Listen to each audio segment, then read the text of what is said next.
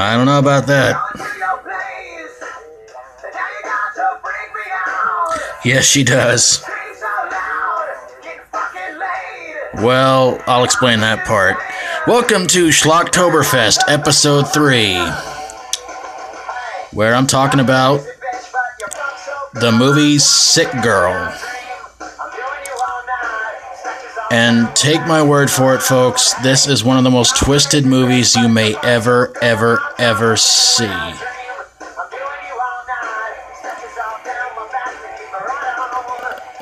I mean, what can I really say about this movie? Um,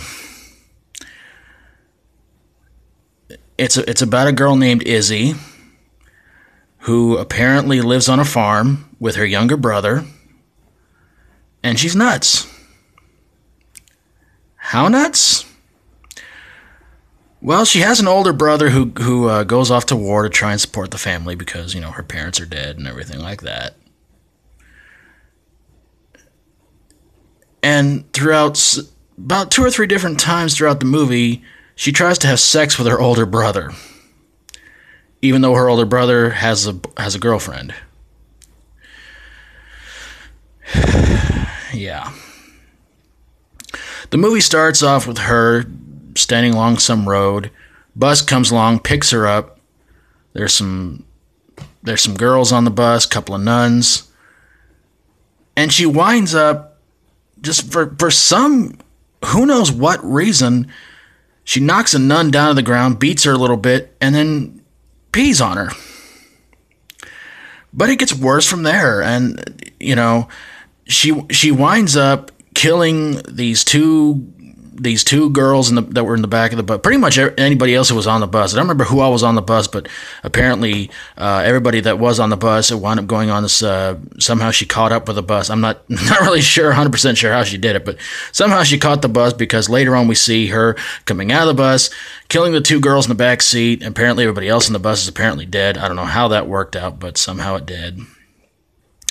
And uh, so yeah, she pretty much just goes around killing anybody who messes with her little brother. She kill. Uh, she has. Uh, she uh, has these two bullies killed off, and uh, then then she keeps this one bully in her barn, tortures him. Uh, she winds up hitting him in the head with a shovel and stringing him up with Christmas lights. Uh, she keeps this one girl alive, and what she does to her, I'd rather not say.